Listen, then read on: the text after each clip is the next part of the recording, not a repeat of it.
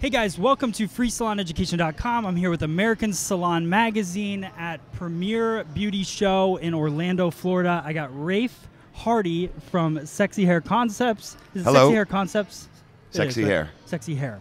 And uh, you're the artistic director, correct? I am. So I'm pumped to talk to you because so there's a couple things. When I the very first hair show I went to 12 years ago, Mm-hmm.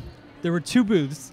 I'm not going to name the other one, but Sexy Hair was the most exciting. It was you had the inflatable tent kind of booth, and you had Oh, a yeah. DJ in there, and the re- Bleachers. Yes, Yeah, yeah. yeah, I remember that setup. so you had break dancers inside. So I uh, that was the first time I saw somebody spinning their scissors. I don't know if it was you, Uh, but I was only two months into beauty school, and I went back to beauty school, and I started spinning my scissors, and still to this day, you're s- the way that I cut hair is because of sexy hair. So whoever that was, I don't know. Oh, that's fantastic. Could have been you. I think we all spun our shears, but we had one guy in particular that worked with us. That That, did it a was lot? he'd do a large cut and he'd flip those shears Yeah, around. yeah. yeah. that was Mr. Wayne Tuggle. Okay, all right. yeah, still friends to this day. That's very cool. Very cool. So, um, so let's talk about your career. You've been Oh, in the industry for over 30 years, right?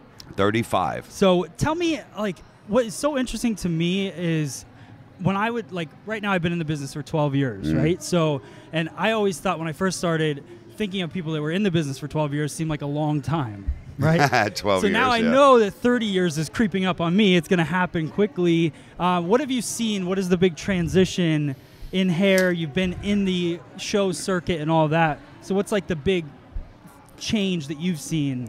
Well, you know, I, I I think that the, most major change that we've seen is we've come a long way from those visual show days. You know, I think that uh, today's hairdresser really comes to hair shows um, for the education. Okay, You know, yeah. because the industry is changing so much, so quickly, so fast. Technology, techniques, everything is changing that you really have to stay on top of things to, to understand the latest and greatest, uh, whether it's color or whether it's you know uh, lifting or whether it's even different cutting techniques like we provide. Um, I think that the industry has gotten a little bit more serious about their time when they come to shows. Right. You know, I still think that there's a place for edutainment. Right. You know, Yeah. because I mean, uh, watching someone blow dry hair is kind of right. you know, kind of. So I, I think that to uh, people are looking to be inspired. Yeah. They're looking to leave with something of value, more bang for their buck.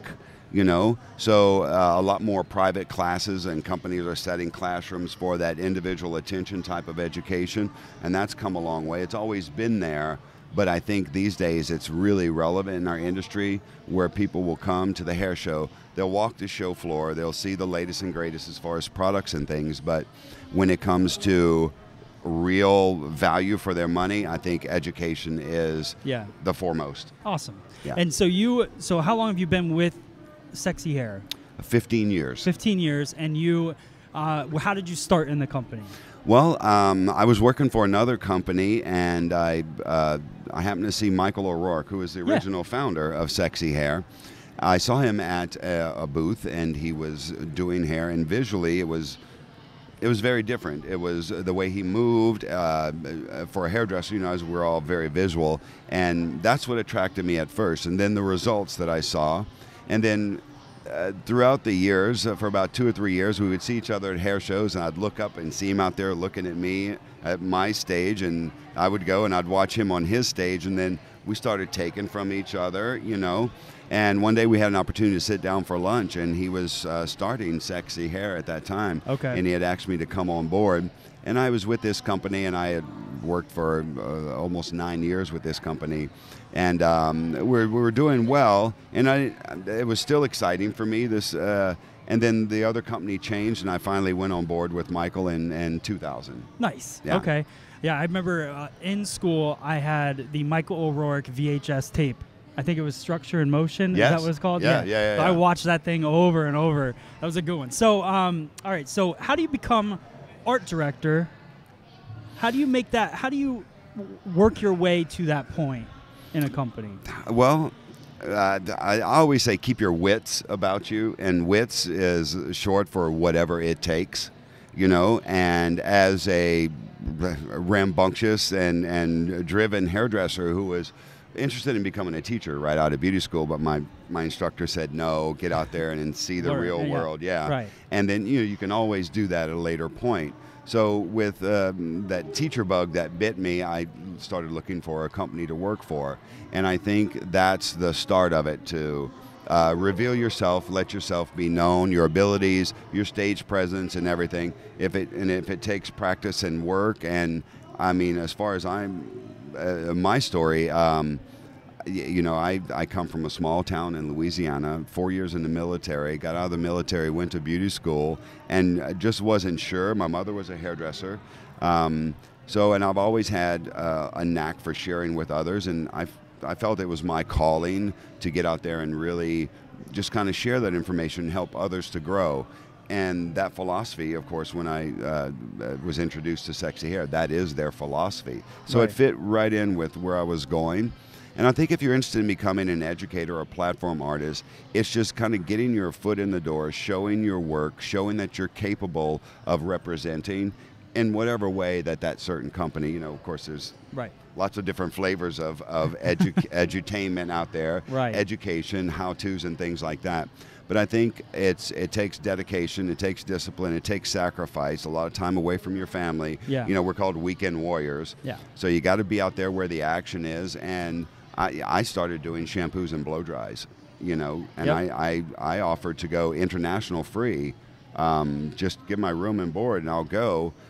They'll pay me so I could be there as an assistant, but what I'm getting in return, that experience, that acknowledgement, the ability to learn different things and to share my talents and my art Right. but it's a it's a constant battle staying up with the latest and greatest you know Yeah. and when i say battle meaning that it takes time out of your life and it takes uh, uh, that willingness to understand that you still have a lot to learn Right. you know Yeah. and i, I have a funny saying all my colleagues always they they razz me about it because it's an old saying but it's so true and it's when you're green you're growing Okay. and when you're ripe you're rotten so when you think very- you know it all you're going to good fall off the tree yeah, you're love that. exactly right it's a southern analogy Right. but I love it. it still works. That's awesome. So, um, so two more questions. As an art director now, what have you seen? How long have you been the art director? Uh, eight years Eight now. years. So, what's the difference between an art director eight years ago and an art director today? Well, you know, I, I it's it's still um, it still takes some insight as to the trends and so forth. And what's helped me is I get to travel on a global level and Yeah. get influenced by different cultures and different uh, trends from different countries and so forth. Um, I think now because we've grown together, a lot of people on our team have grown together. It's a little bit um, easier to to do what we have to do because everyone plays their part and they're they understand the well the wits whatever it takes and we have a team now over the years we develop a team that makes everyone's job easier because everyone pulls their weight and knows how to do it really well Right. um, and that's as far as on the inside. As far as the outside, it's um, it's always a challenge to go out there and really decipher what we're seeing as far as trends from an artistic uh, director's point of view, and to be able to create haircuts and styles and imagery that is uh, well relevant, that's trendy, that's going to excite hairdressers. Um, everything's been done in this industry. It's really hard Yeah. to come up with something brand new. Um, we're still managing to do it at Sexy Hair with some of the, the looks and the techniques to achieve those looks as well as our products. So I think that um, as an artistic director, how it's changed over the years is the fact that you have to you have to be even more insightful back than you were back then now Right. Because of course when you look around the competition is out there you have to do something that's really going to stand out and uh, trying to find that point of difference Yeah. i think is getting a little bit more challenging once it's found it's easy because the team helps you produce it so Absolutely, it kind of goes hand in hand Yeah, definitely. And so uh, when you're uh, when you're not doing hair, you talked about family and all of that. Mhm. What what are you what are you doing? Well, uh, my my pastime. One, I have a 16 year old daughter. I'm a single father, so, So you're in that- that that, time frame right now, right? I um that and that's a job in itself Right. for all of you who have teenagers. Uh, Right. um, But uh, to, for me to get away, um, I'm a, a adventure motorcyclist. Oh, nice. So I have a motorcycle I can take um, on the road, or if I can go off road, and I enjoy the the release and getting away from the daily, the normal grind. Um, I find that when you're on a motorcycle, everything else goes away because you have to concentrate on what you're doing. Right. You're on a motorcycle. Yeah. And getting to see places, and I'm you know from Louisiana, so the outdoors has always been a big part of my life. And I'll throw a tent and a sleeping bag on the back of my motorcycle and just take off in a direction and stop when I want to. And it's my time. It's my casual time Yeah. and it just allows me um, that freedom that I don't normally have. You know, my cell phone stays off, other than GPS, Right. Uh, to Right. know where I'm going. Yeah. and and just and get away and just enjoy the the solitude. You know, we love people. You know, I love people, and it's been my life, and and this industry has been my life for the past 35 years. But you have to have you have to supplement it with some your own time. And I found I used to golf, but that takes like eight hours. Takes forever. I know. Yeah. I love golf, but And if I'm gonna be gone eight hours, I'm gonna go somewhere besides a golf course. So, and I go to the desert, I go to the mountains. I mean, I'm from Louis, um, from Los Angeles, where I live now, and I have the Sierra Nevada mountains, or two Oh. hours drive for me. So, I can be at 7,000 feet in a nice, cool campground, enjoying Mother Nature. that's awesome. So that's great. That's my getaway. Very cool. So, um, so one last thing with uh, sexy hair. What's happening? What's next? Um, guys, we just finished our 2018 photo session. Nice. So, and it, and happened last week. A lot of timing and preparation. Um, you know, and another part It's of being being released in 2018. it's being released January 2018, but it's in the can already. That's We've crazy. already got it. We want to stay ahead of time. You know, Yeah. in this industry, you have to get out your collateral to all your distributors and everything, the classroom formats, the visuals, and also they can start to print. So we we did a little early this year because well, this is when the schedule allowed.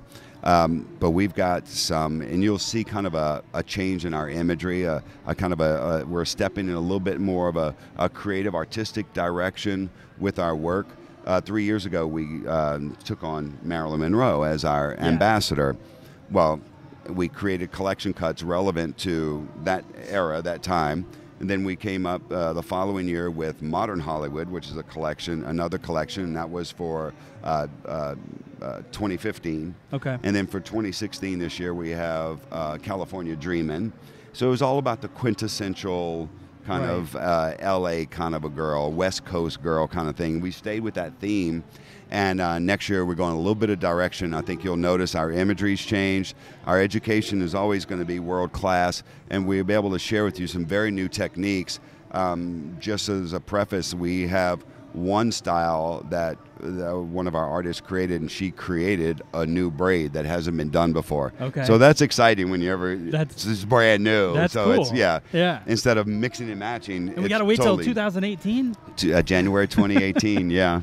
I said a sneak preview. I'm it's a such sneak like a sneak. YouTube person. I'm like, I, whatever I think of, I put out tomorrow. So it's like very. I can't Exactly. even fathom 2018. Well, right when now. they said we were having a, a photo session, uh, you know, in uh, May, I'm kind of like, well, that's 2018. Uh, It's, but you kind of predict and, and Yeah. knowing where trends are going, and in this case, we're uh, we weren't so, I guess, caught up in where we think trends are going versus us setting new trends. right, and that's is, what being an art director is about. and it, yeah, exactly. And it's and dictating that far out in advance what's going to be hot, what's going to be not.